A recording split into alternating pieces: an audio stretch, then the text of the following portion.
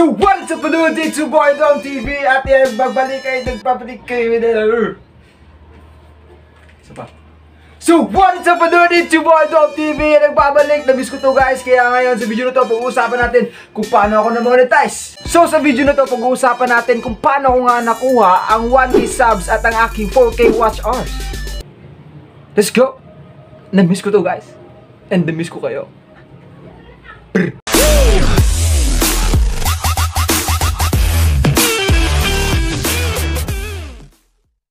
So bago tayo magsimula guys, pasensya na ako masyadong maingay yung kapaligiran natin kasi wala tayong maingay naman ito studio dito eh. Masyadong maingay dito guys eh. Hmm? Ginigigil niyo ako ha. Hmm? Ginigigil niyo ako guys. so ayan, pagsisimula na tayo. Pero bago magsimula, gusto ko pasalamatan, nag-subscribe sa akin at thank you sa mga sumusuporta, sa mga hindi ko uh, uh, nakilala dyan na nag-subscribe pa rin kayo. Thank you guys and very very much. So ba abod oy! Cute-cute, manggod! So first natin pag-uusapan kung paano ko nga nakuha ang first 1k subs ay tinatawag ko siyang tip number 1, leveraging.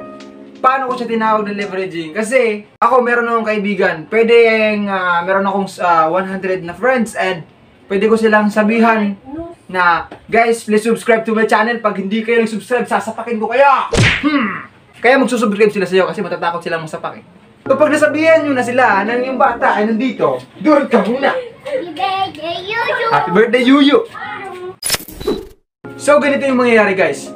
Dahil nga ako ay may 100 na friends, mag-a-approach ako sa 100 na yon ay posib at posibleng may mag-reply na sasabihin ay sige, magsusubscribe ako. Kaya naman, pwede mo silang sabihan na tol, tol, tol, total kaibigan naman tayo. Sabihan mo yung mga kaibigan mo na subscribe din yung channel ko tol, baka gusto nilang masapak. Ganon. Ha! Ganon tol ha!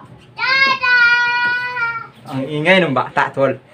so ang mangyayari, Daddy! magiging ganito, tapos ganito, tapos ganito.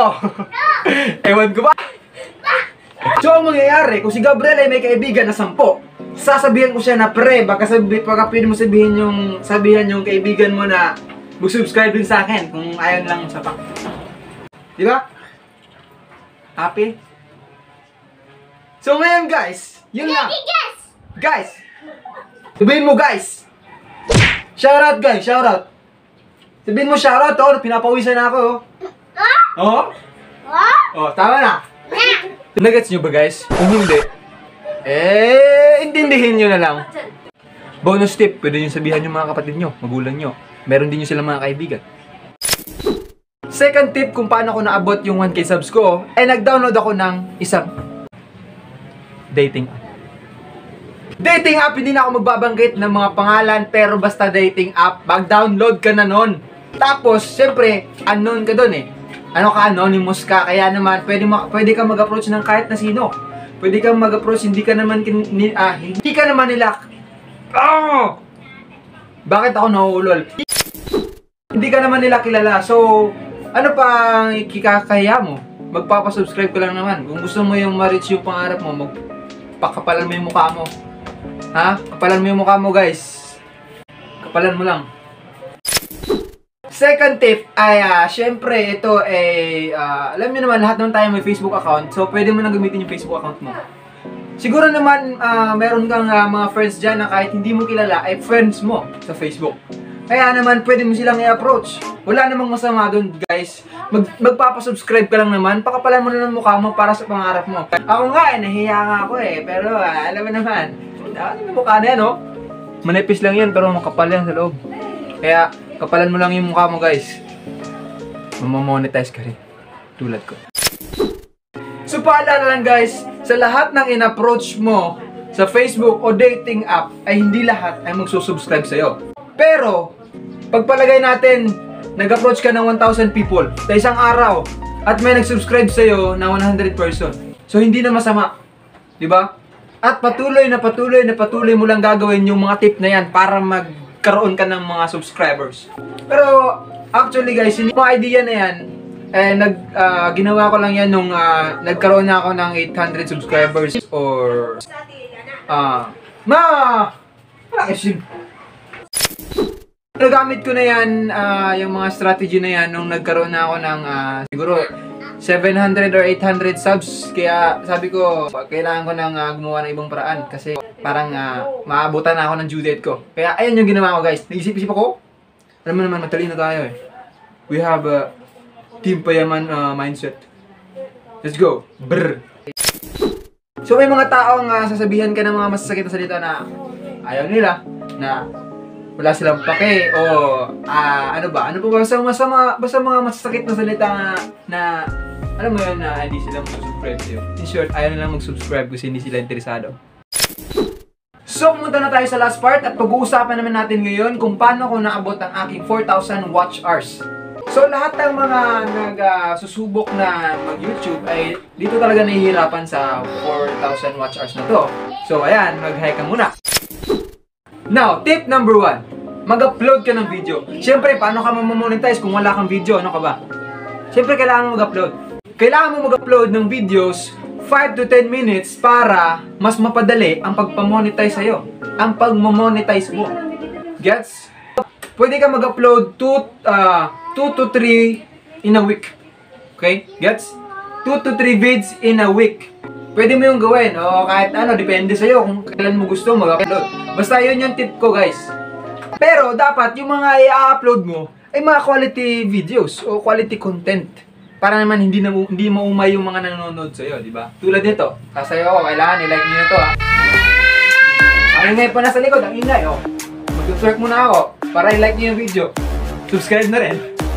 So kung wala pa kayong idea guys kung paano nyo makukuha o maabot na gadagaran yung ah, 4,000 watch hours nyo, ah meron akong ah, tips na ginawa na video at ilalagay ko dito sa taas. Yan oh, ilalagay ko dyan sa taas. Yan, yan. So ganito ang mangyayari guys. Pag may nanood sa iyo na 10 tao at meron kang 10 minutes ah, video, ito times mo lang yan guys at meron ka ng 100 watch hours sa isang video mo. So, gawin mo na! Ano pang hinihintay mo? So, tip number two, play your own video. Sa lahat ng ah, ginawa kong ano guys, ito yung pinaka ano, ito yung pinaka ano guys. So, pwede mo gamitin yung phone mo, or yung laptop mo, or commute, computer, pwedeng ganun guys. So, ipi-play nyo lang siya sa Chrome, pwedeng Chrome. So, ayun, pwede nyo siya i-play sa YouTube. Play nyo lang. Yun yung ginawa ko guys, para mapabilis yung ah, pag-monetize ng channel ko. Kasi, yun naman talaga yung hinahabol natin lahat eh. Kailangan natin ma-reach yung 4,000 watch hours. So, ano pang gagawin mo? Gawin mo na itong ginawa ko rin. Di ba? Gawin mo na. Ah, ito guys, regardless kung ah, wifi o load ang gamit mo. Pero mas maganda kasi kung ah, wifi yung gamitin mo para mas makamura ka. Kasi kami, nag-online class ako, kaya ayan, ha, pinag, uh, samantalan ko na yung oras. So yun ang mga ibibigay ko sa inyo na tips guys. Kaya naman dapat gawin nyo ha. Kasi pinanood nyo eh, tinapos nyo. Pero bago muna tayo magtapos guys, itong video na to bago ko tapusin, itong mga tips ko guys ay pawang ah, idea ko lamang at ah, opinion ko at ito nga ay nangyari sa akin at and proven naman. Kaya na-monetize yung channel ko kasi lahat ng mga sinabi ko ay ginawa ko guys. So kung gagawin nyo itong mga sinasabi ko dito kasi nakakapagod magsalita tapos hindi nyo susundin, hindi nyo gagawin, ay nako, subscribe nga, tapos like nyo na rin. So ayun guys, ah, all in all, ah, yun lang masasabi ko. Gusto ko lang, eh, kung gusto nyo ma-monetize, gusto ko rin kayo ma-monetize guys kasi alam ko masyado pang malayo yung mapupuntahan natin guys bago tayo makarating doon sa mga hinahanga, hinahanga natin ng mga tao. So ayun, gawin nyo lang tong ginagawa ko. At alam ko may ah, patutungo din kayo sa para ma-monetize yung channel. So ayun mga dudes, bago tayo magtapos, nakalimutan ko, mag-shoutout pa pala muna tayo sa mga madudes natin dyan. So ayun, meron na akong sinulat dito kasi nagsusulat ako ng script bago ako nagbibideo. So ayan, shoutout muna tayo kay Kuya Bunbun. And shoutout kay uh, AJ Bazar Boy, so, shoutout, shoutout sa'yo boy, shoutout. And shoutout to Queenie Miu Miu, hi Queen. And shoutout to our uh, kasmate ako, Ernesto kay Nage, shoutout sa Imo. And shoutout to Perry Joy Rivera. And shoutout to Agaw, Jerry B. Dinopol, and Shoutout to Omar Palma Mangulayon, uh, Mangulayon. And shoutout to Aramay Villamor. And shoutout to Apple Joy Galag. And shoutout to John Philip Manata. Shoutout to Clarence Kevin John Lord. Shoutout to uh, Romilod.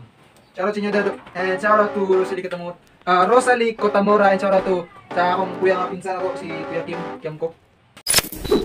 So ayun guys, uh, another shout out. Shout out to Hazel Cagadas and shout out to Lawrence Codorna. Hi. And by the way guys, nani siya uh, YouTube channel. Uh, please subscribe sa iya ha. And ayun, migo na ko na siya. And shout out to Joshua, ay Josh, Joshi Watashi Samano. Shout out to Edel May, hi tita. And shout out to Leia Canencia.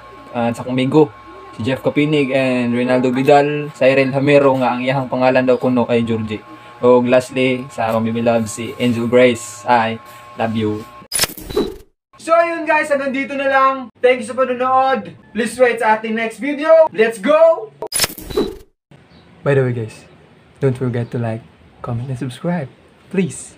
Baka naman. Let's go!